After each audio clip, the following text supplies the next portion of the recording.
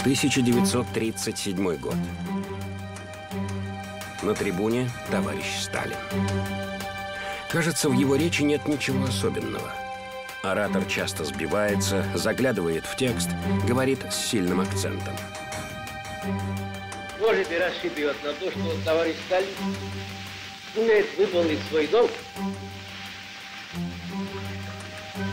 перед народом. Но слушатели этого будто не замечают. Каждую фразу отца народов публика слушает, затаив дыхание, и встречает шквалом оваций. У нас у большевиков не принято отказываться от ответственности. Я ее принимаю.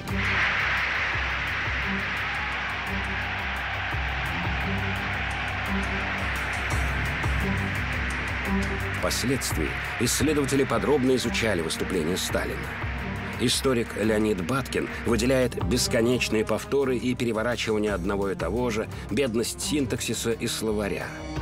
Израильский ученый Михаил Вайскопф утверждает, аргументация Сталина строится на эффекте одуряющего вдалбливания.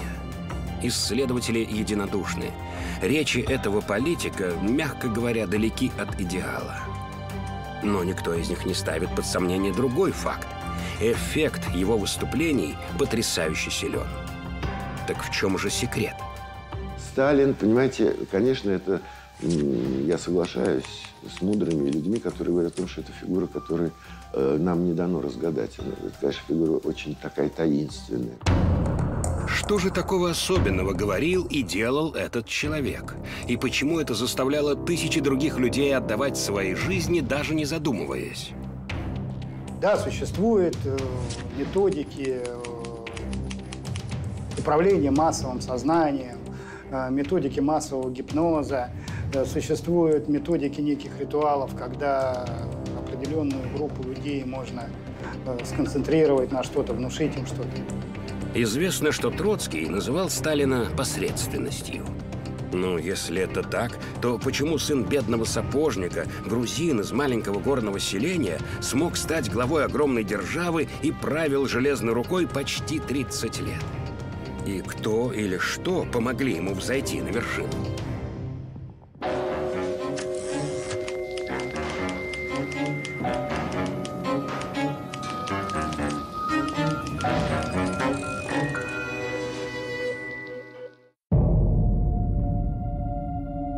Молодая грузинская пара пришла в храм. Мужчина и женщина склонились на коленях у иконы святого Георгия – они уже дважды теряли сыновей сразу после рождения. И теперь молились дать им еще одно дитя. «Если он выживет», — шептал в молитве мужчина, «я совершу паломничество на святую гору Греджвари». «Я отдам его в священники», — обещала женщина.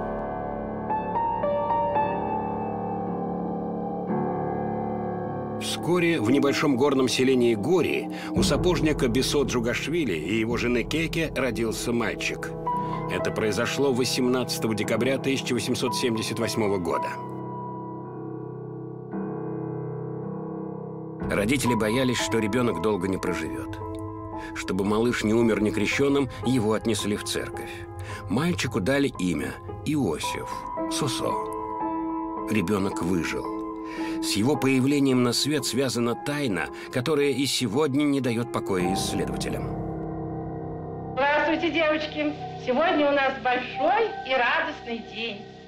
Поздравляю вас со днем 70-летия дорогого товарища Сталина. 21 декабря. В годы правления Сталина смысл этой даты знал едва ли не каждый гражданин страны Советов. Конечно же, день рождения Отца народов.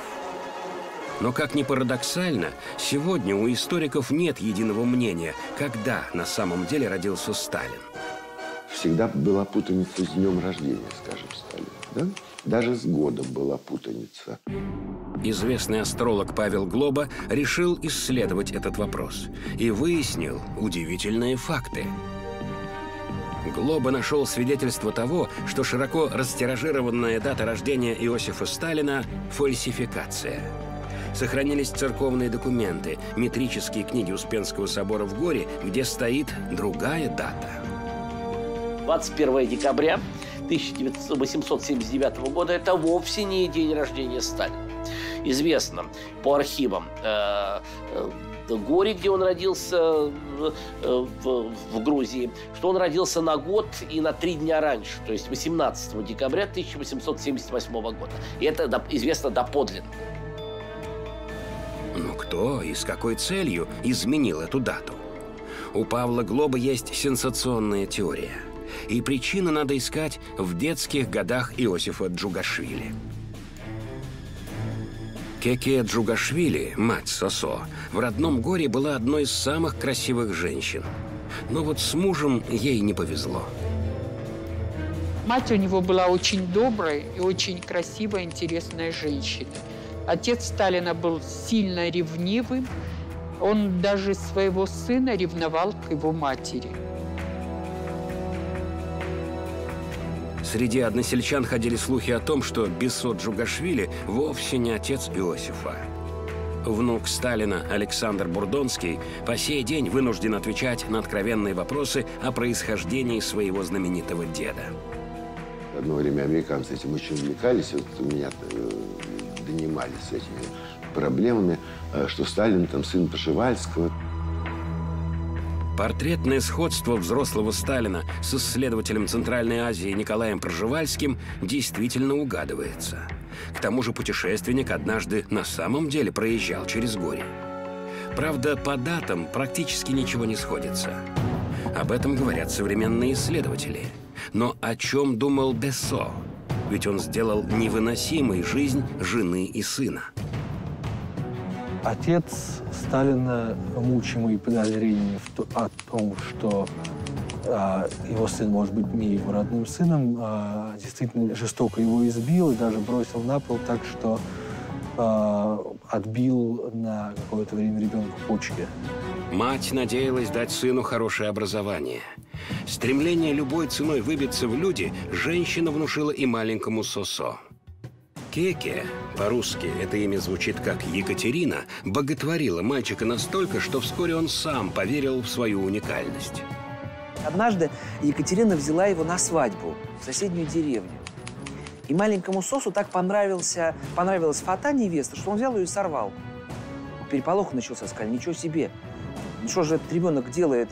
Кем он станет, если он сейчас уже срывает фату с невесты? А Иосиф посмотрел в сторону задавшего этот вопрос и сказал, что я царем буду. И так потом Екатерина и говорила, что вы моего мальчика не ругайте, он будет царем. Кеке твердо намеревалась отдать сына в священники. В июле 1894 года юный Джугашвили поступил в Тифлисскую духовную семинарию. Насколько определяющим стал этот эпизод в его жизни? Немецкие захватчики хотят иметь истребительную войну с народом СССР. Что же, если немцы хотят иметь истребительную войну, они ее получат. Бог помогает большевикам. В годы Великой Отечественной от вождя часто слышали эту фразу. Ничего не значащая присказка? Или Сталин все-таки был верующим человеком, хотя и не показывал этого? Владимир э, Аллилуев, э, двоюродный брат моего отца и Светланы, он э, был допущен в архивы. И вот он выкопал такую вещь, что э, незадолго до смерти Сталин э, исповедовался. А, по-моему, это где-то какой-то священник из Пюхтинских краев был. Вот. А, и которого при Хрущеве а, очень сильно трясли, что тайную исповедь он не выдал. То, что Сталин знал о религии больше, чем почти все остальные советские руководители, сомнению не подлежит. Все-таки в семинарии он был одним из лучших учеников. Но в историю лидер советского государства вошел как едва ли не самый жестокий преследователь священнослужителей – Именно при нем 15 мая 1932 года была объявлена кампания, официальной целью которой провозглашалось полное искоренение религии всего за пять лет. Что же превратило подававшего надежды священника в непримиримого противника церкви? Неужели учеба в семинарии? «Каша из людей». Так писали современники о Тифлисе конца XIX века. Город, переполненный роскошью и одновременно захлебывающийся в нищете.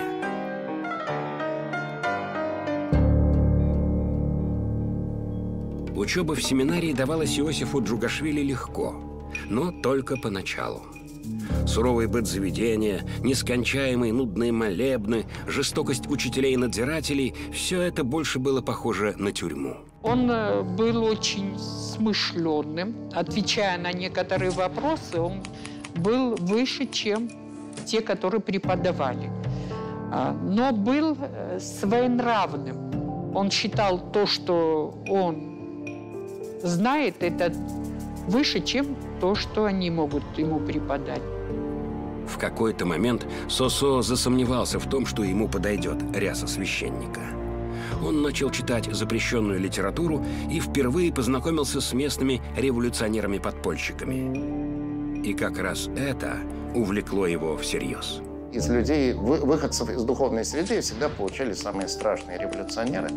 Феликс Эдмундович Дзержинский, это вот тоже такой э, человек, который чуть не стал иезуитом, но вместо этого стал революционером. Семинария стала его первой школой жизни.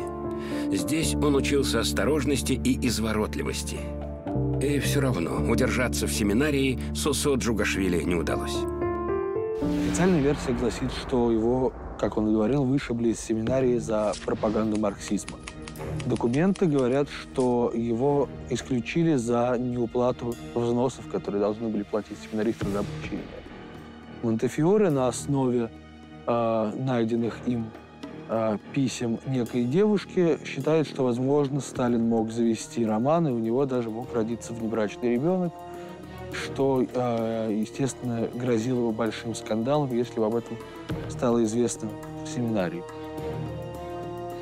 Так или иначе, но в 1899 году в семинарском журнале появилась запись «Увольняется за неявку к экзаменам». Однако это лишь страница официальной биографии. Историк и писатель Андрей Синельников изучил множество различных источников и выдвинул собственную сенсационную гипотезу. Иосиф Виссарионович никогда не заканчивал Белийскую семинарию. Он заканчивал Андрианопольский иезуитский колледж. Александрополь – это э, ну, Ленинакан, который в Армении. Все документальные подтверждения этого уничтожены. На неожиданную версию Синельникова натолкнули явные временные нестыковки в биографии Сталина и косвенные свидетельства. Историк не сомневается.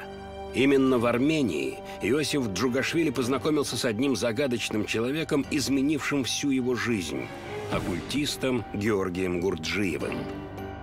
Он учился в одной группе с Гурджиевым, великим мистиком даже жил в доме у Гурджи.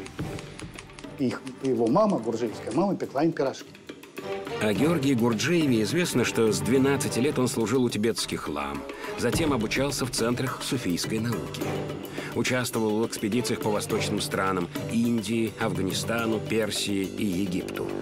Основал Институт гармонического развития человека. Вообще он считал любого человека, э, который еще не пробудился, человеком спящим. Он живет, каждый из нас живет как машина, ну, как механизм заведенный. И есть возможность его пробудить, если поставить его какие-то экстремальные условия. Для того, чтобы это, он вышел из состояния машины и вошел бы вот в какое-то сверхчеловеческое, сверхразумное состояние. Георгий Гурджиев был выдающимся гипнотизером и утверждал, что разработал способ манипулирования людьми. Это метод управления человеческим поведением, это естественно. Это методы коррекции этого поведения, пробуждение способностей, подавление, на, подавление каких-то э, значит, э, реакций на раздражители, э, преодоление болевого порога. Это все, в общем-то, входило в, э, в э, джентльменский набор или в меню Гурджиевской школы. По воспоминаниям очевидцев, беседуя с Гурджиевым, люди теряли чувство времени, а придя в себя, полностью ему подчинялись. Андрей Синельников утверждает, этому Гурджиев научил из Сталина. Управление массовым сознанием, оно имеет свои, ну скажем, рычаги. Это вдалбливание в, в, в, голов, в голову массы какой-то определенной идеологемы. Георгий Гурджиев создал учение о так называемом «четвертом пути жизни». В его центре лидер, который больше, чем просто человек. Он управляет людьми-машинами. Не правда ли? Напоминает знаменитый сталинский тост, в котором отец народов сравнил советских людей с винтиками. По крайней мере, во многих школах СС во многие, некоторые методы, э, которые в своих э, своим ученикам проповедовал Гурджиев, действительно употреблялись. Исследователь Иван Ефремов в своем романе «Час быка» выдвинул еще одну версию. Метод Георгия Гурджиева в начале 20 века был реализован в управлении двумя государствами – в Германии и СССР. По мнению Ефремова, и Гитлер, и Сталин были специально подготовлены к роли лидеров – по гипотезе Ефремова, Гитлера готовили апологета Гурджиева, а Сталина консультировал оккультист лично. Э, использовал ли Сталин некоторые методики гурджиевские в, своем, в своей практике? Вполне возможно, потому что очень многие э, манеры поведения Сталина, его вот это э, так, законченный образ гештальт, как говорили э, западные психологи, он э, во многом напоминает те методы, которым Гурджиев пробуждал сознание учеников. По одной из современных версий, по совету Гурджиева Джугашвили не ограничился изучением методик управления сознанием. Он поехал в Рим, где еще несколько месяцев изучал различные мистические ритуалы. Манипуляции, подавление сознания масс, ритуалы защиты или энергетику мест и объектов из арсенала египетских фараонов. После окончания иезуитского колледжа в Армении он был послан в иезуитский колледж в Рим. И вот этот недоучившийся семинарист прекрасно владел, прекрасно владел тремя языками, не считая там армянских, грузинских и тому подобных русских. Он владел прекрасно английским, немецким, итальянским. Опа! Недоучившийся семинарист. В конце 1899 года Иосиф снова появляется в Тифлисе. Здесь ему представился шанс опробовать полученные знания на практике. Результат оказался поистине ошеломляющим. Итак, он больше не Сосо. В подполье его называют по-другому. По одной из версий, новый псевдоним будущий правитель страны Советов позаимствовал у одного из самых близких людей – его фактического крестного отца, якобы Игнаташвили, которого, кстати, была кличка Коба, э, прозвище Коба, который потом носил и Сталин. Все это время Джугашвили не терял связь с марксистами. В мае 1900 года он организовал первую забастовку. Практически в одиночку сумел остановить работу сразу нескольких железнодорожных депо. Акция была жестоко подавлена, многих рабочих арестовали. Но Иосифу удалось скрыться. И вскоре снова сплотить возле себя людей. Он э, организовал подпольный кружок рабочих, он э, выслеживал возможных провокаторов и э, агентов полиции. Подвиги революционера по прозвищу Коба стали известны за рубежом. Именно тогда дерзкого горца взял на заметку лидер партии большевиков Владимир Ульянов-Ленин. Его соратникам не хватало денег. Коба начал получать от подполья особые задания – заказы на ограбление. Хотя революционеры называли их иначе – эксы. Для революционера участие в эксах – это дело чести, доблести и геройства. Был даже такой лозунг. «А, экспроприация, во время революции, экспроприация экспроприаторов. Экспроприаторы – грабящие буржуазия. Мы грабим буржуазию и отдаем деньги ограбленным. 27 июня 1907 года европейские газеты вышли с громкими заголовками. На первой странице «Таймс» статья «Бомбардировка в Тифлисе». Парижская ТАН написала еще лаконичнее «Катастрофа». Журналисты описывали кровавое ограбление банка, произошедшее накануне в центре Тифлиса. Эта экспроприация, как считается, была Сталином срежиссирована. Э, в ней участвовало очень много э, статистов, э, которые исполняли различные роли, в частности, Симон Терпетросян, э, который известен как Камо, э, играл роль кавалериста, который э, джигитовал перед восхищенной толпой и размахивал шашкой, тоже отвлекая на себя часть внимания. Пятеро погибших, больше 20 пострадавших. В истории Тифлиса этот экс стал одним из самых громких ограблений. Вся полиция царской России была поднята на ноги. Но Кобе снова удалось скрыться. К тому времени он уже был опытным революционером. Но пока еще не тем безжалостным тираном, жестокость которого вошла в легенды. Он все еще пытался создать семью и даже писал стихи. Об одном из таких малоизвестных фактов в своих воспоминаниях написал Виктор Курнаковский, представитель газеты «Искра» в Грузии. Однажды к нему в эту газету пришел молодой человек, которого звали Иосиф Джугашвили, и принес свое стихотворение. Там первая строка «Раскрылся розовый...» Про фиалку. «Раскрылся розовый бутон», что ну, очень красивое. Неужели такое написал будущий диктатор? Что же могло так ожесточить Сосо? Иосиф Джугашвили был противоречивой личностью. В этом сходятся все его биографы. Некоторые поступки с юности характеризовали его как обидчивого и импульсивного человека. Иосиф вместе с тремя приятелями отправился на берег Куры, это река, которая течет в Тбилиси. И на этом берегу пасся теленочек. И все стали восхищаться. Ой, какой теленочек, какой хорошенький. А Иосифа почему-то возмутили эти слова, возмутило это восхищение. Он подошел к этому теленку и переломал ему ноги. А потом, как ни в чем не бывало, вернулся к друзьям и сказал, вот ваш хороший теленочек. Но и он был способен любить по-настоящему. Однажды Иосиф познакомился с сестрой своего сокурсника и товарища-революционера Александра Сванидзе. У Алеши Сванидзе, а, его будущего Шурина было три сестры, младшая из которых э, Като э, влюбилась в Сталина, он влюбился в нее, судя по всему, у них действительно э, был настоящий роман, неподдельные чувства. И в ночь на 16 июля 1906 года они обвенчались в Тифлисской церкви святого Давида. А в 1907 году у пары родился сын Яков. Но семейное счастье было недолгим. Вскоре после рождения ребенка Катерина умерла от тифа. Когда умерла Екатерина, и когда ее хоронили, ведь Сталин прыгнул в могилу. Прыгнул в могилу. И его достали друзья. Я встречался с дочерью Геронтия Кикодзе, вот того самого человека, кто достал Сталина. Она говорила, что в семье потом шутили, говорили, папа, зачем ты его достал? Мы могли его закопать уже в 907 году.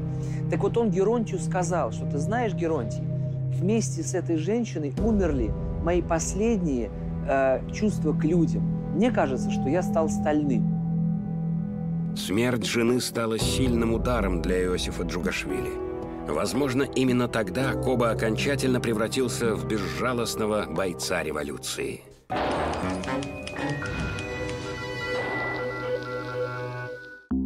В период с 1902 по 1913 год Сосо шесть раз подвергался арестам.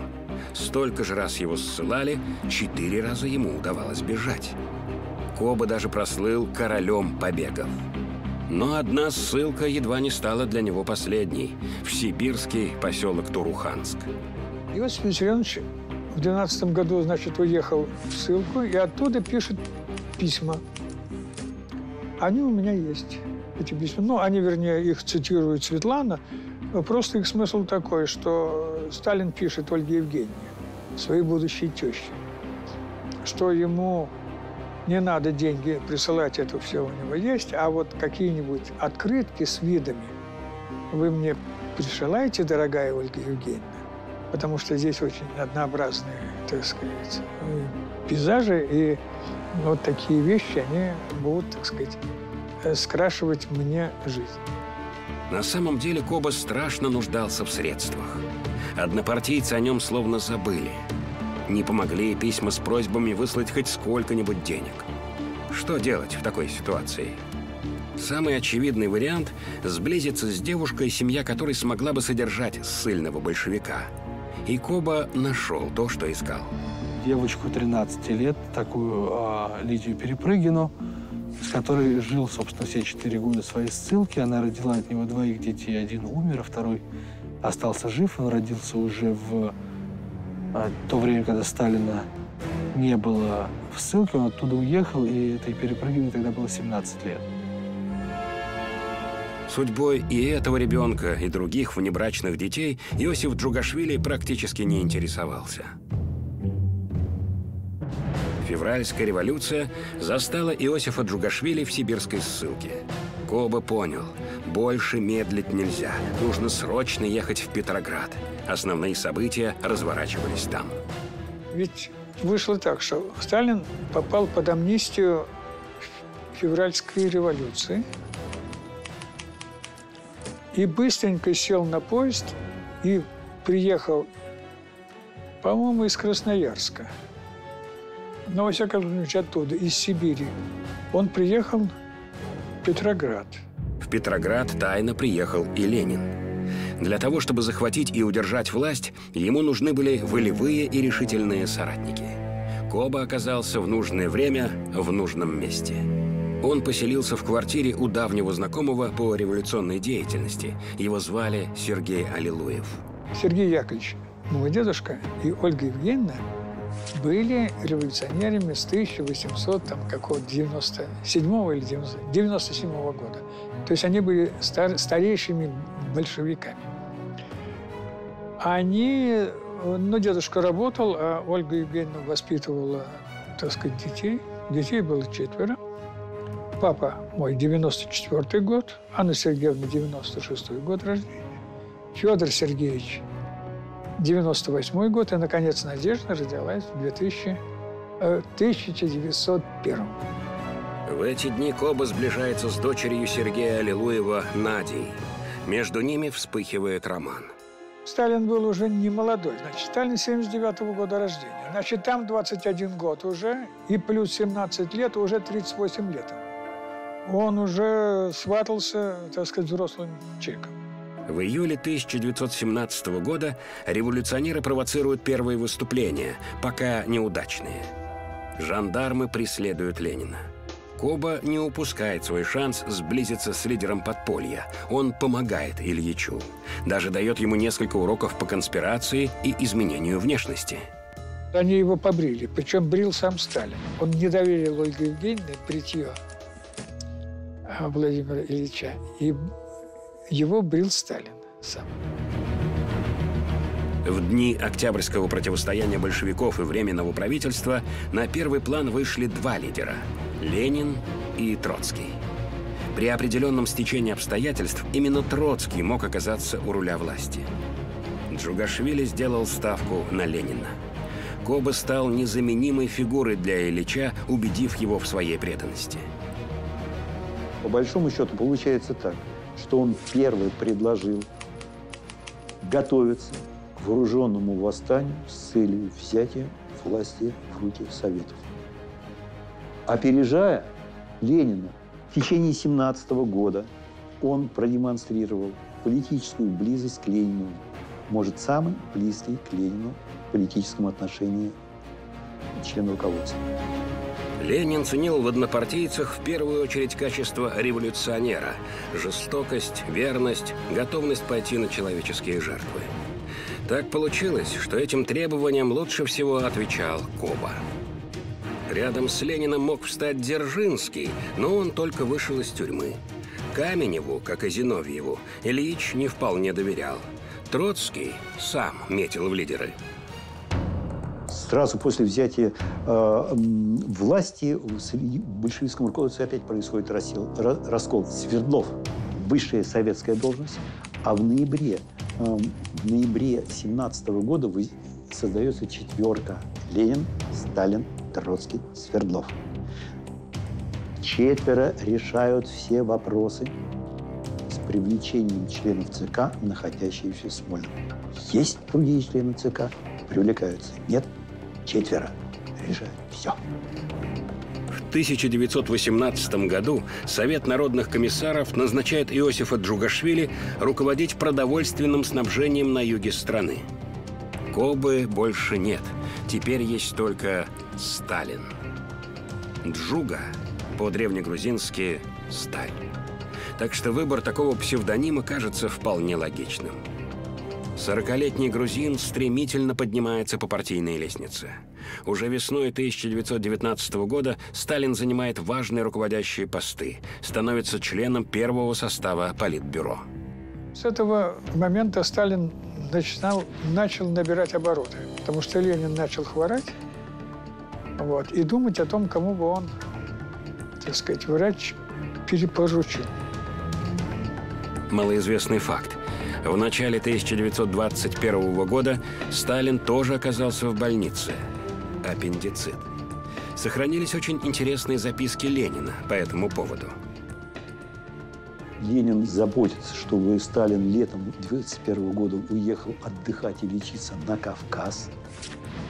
В это время катастрофически к концу лета обостряются отношения Троцким. Сталин возвращается из отпуска, и Ленин сразу начинает его продвигать. Сталин делает секретарем ЦК, Сталин член бюро, Сталин член оргбюро, Сталин секретариат, возглавляет секретариат. Через полгода Сталин становится генеральным секретарем.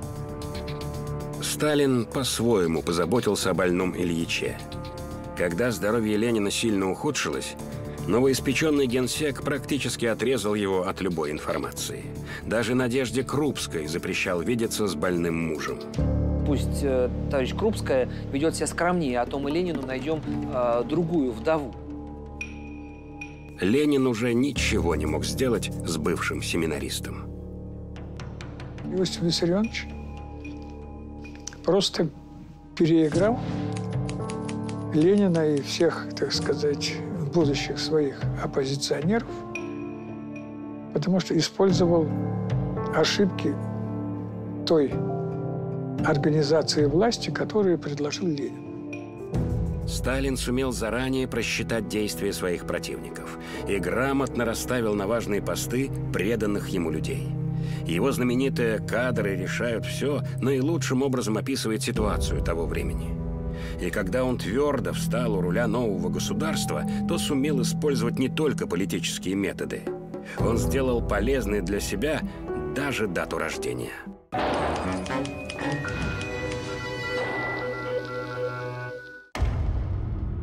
21 декабря 1879 года.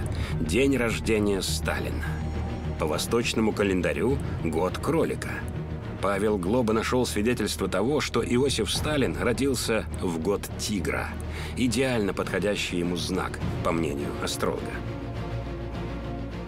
Вот эти тигриные глаза отмечают даже его враги. Троцкий, например, говорит, желтые тигриные глаза у него, понимаете?